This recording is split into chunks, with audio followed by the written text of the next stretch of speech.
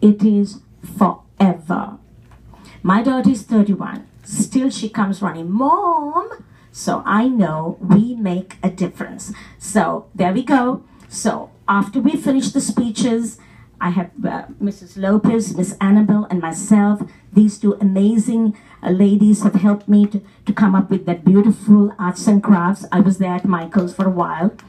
Uh, I know Miss Annabelle is still a young lady, not yet married, but she'll become a mother too. This beautiful lady, Mrs. Lopez, has three children. So we are all in the same group. We work together because children our, are our future. They are our pride, and we never stop loving them, no matter how difficult they are.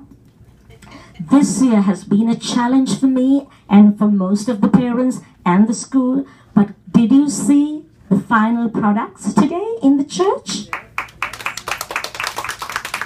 Did you see and listen how well these amazing children behaved went there to the microphone with poise and confidence? That is called believing in children, no matter how difficult they are.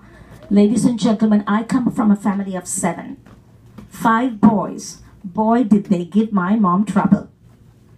Each one was different. I spoke a lot, says my mommy used to say. May she rest in peace. Today was the day I laid her to rest one year ago. But having said all that, thank you for believing in your children who become my children when they come to the school. 16 years I have watched these children grow. And today they are here to honor you. Happy Mother's Day.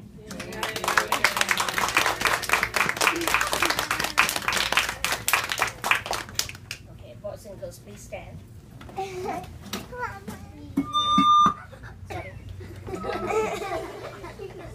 It happens in Grammy Awards too. your hands.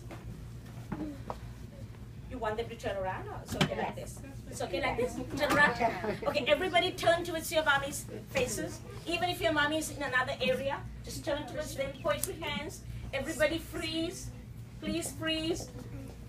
Oh, she's turning. Okay, that's it. Okay. Shruti, come this way and turn them. Okay, ready? On a count of three, boys and girls, don't rush. Take your time. One, two, three. My mother.